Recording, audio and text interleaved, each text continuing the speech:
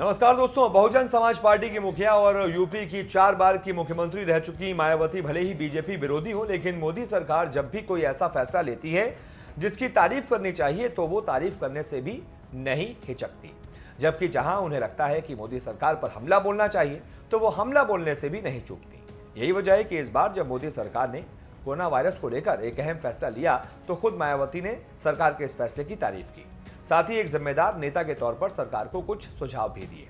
दरअसल, देश में भले ही कोरोना वायरस के खिलाफ दो वैक्सीन बनकर तैयार हो चुकी हूँ, लेकिन यह वायरस अभी भी देश में तेज़ी से फैल रहा है, जिसे लेकर कई राज्य अपने स्तर पर जहाँ लॉकडाउन लगा रहे हैं तो वहीं खुद पीएम मोदी चुनावी व्यस्तता के बावजूद कोरोना वायरस के बढ़ते मामलों पर नज़र बनाए हुए हैं।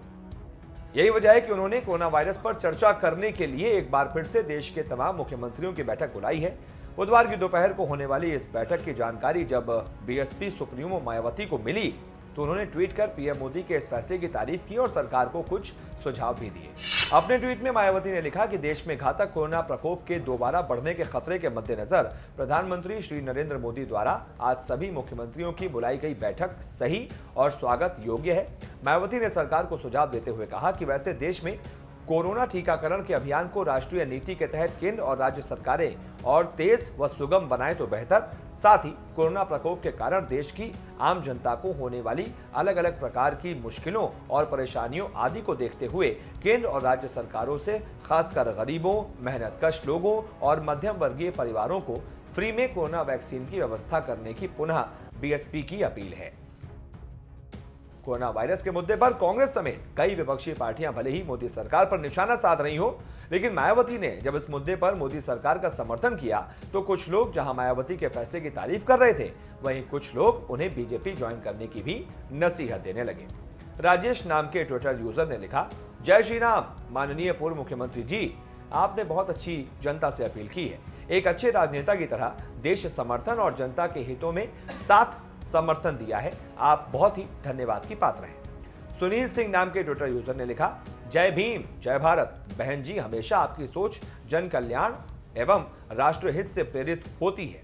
यही सोच आपको एक राष्ट्रीय नेता के रूप में पहचान दिलाती है। अशोक कुमार नाम के यूज़र ने लिखा, बहन जी, आपकी नीति सर्वजन हिताय, सर्वजन सुखाय पर आधारित है। हम सब आपको देश का नेतृत्व करते हुए देखना चाहते हैं।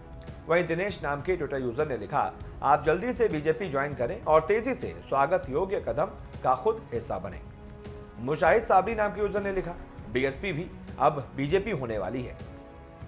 मायावती ने कोरोना मामले पर, जहाँ मोदी सरकार का साथ दिया है, वहीं देश में बढ़ते कोरोना के मामलों की बात करें तो आपको बता दें, केंद्रीय स्वास्थ्य मंत्रालय के आंकड़ों के मुताबिक, देश में कोरोना के मामले भारत में पिछले 24 घंटे में छब्बीस नए मामले सामने आए हैं।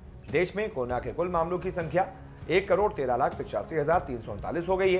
कुल मौतों की संख्या एक लाख अट्ठावन हज़ार सात सौ पच्चीस हो गई है। देश में सक्रिय मामलों की कुल संख्या दो लाख उन्नीस हज़ार दो सौ बासठ है। डिस्चार्ज हुए कुल मामलों की संख्या एक करोड़ दस लाख सात हज़ार तीन सौ बावन है। देश में कुल दो करोड़ निन्यानवे लाख आठ हज़ार अड़तीस लोगों को कोरोना वायरस की वैक्सीन लगाई गई है। कोरोना के बढ़ते आंकड़ों को देखते हुए पंजाब ने एक बार फिर से स्कूलों को बंद करने का फैसला लिया है। इसके अलावा दसवीं और बारहवीं बोर्ड की परीक्षाएँ भी टाली जाएँगी। पंजाब के शिक्षा विभाग के मुताबिक राज्य में 22 मार्च से आरंभ होने वाली बारहवीं की परीक्षा अब 20 अप्रैल से 24 मई तक करवाई जाएगी। वहीं अप्रैल से शुरू होने वाली दसवीं की परीक्षाएँ अब 4 मई से 24 मई तक करवाई जाएँगी। जबकि सूरत में 500 बेड वाले कोरोना अस्पताल को एक बार फिर से खोला गया है, जो बता रहे हैं कि देश में कोरोना वायरस को लेकर हालात कितने बिगड़ते जा रहे हैं। इसलिए आप भी कोरोना से बचने के लिए मास्क ज़रूर लगाएँ और दो गज की दूरी बरकरार रखें।